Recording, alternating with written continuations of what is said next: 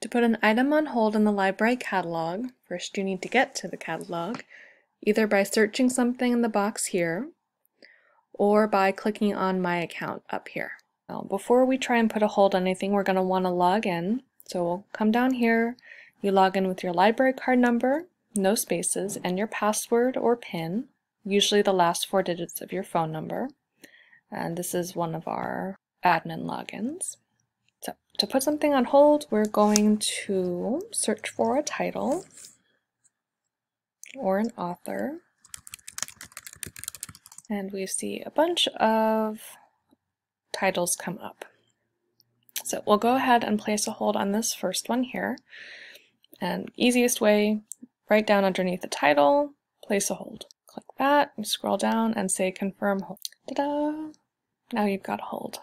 Let's say we want another one by James Patterson.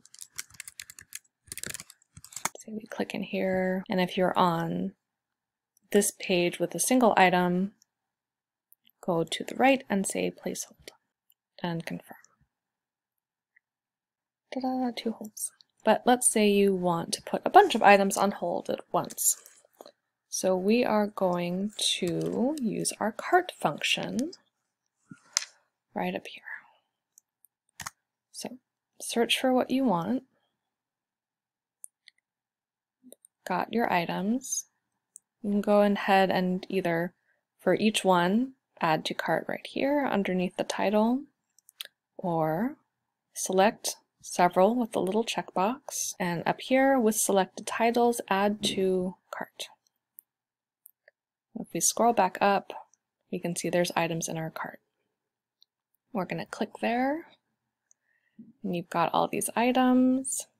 Now to place all these on hold at once, you say select all, then place hold. And that's going to give us the confirm screen again. So we'll go ahead and scroll down and say confirm hold. And that will confirm all the holds that we had in that cart.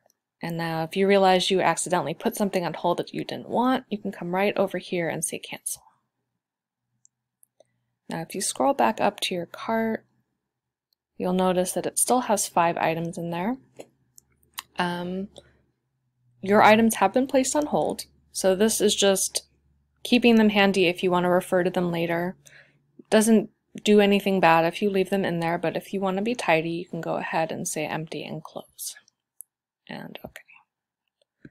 And now the cart is empty, and we have our items on hold. From here, just wait for the library to send you an email um, saying your holds have been pulled, and then you can schedule your pickup date.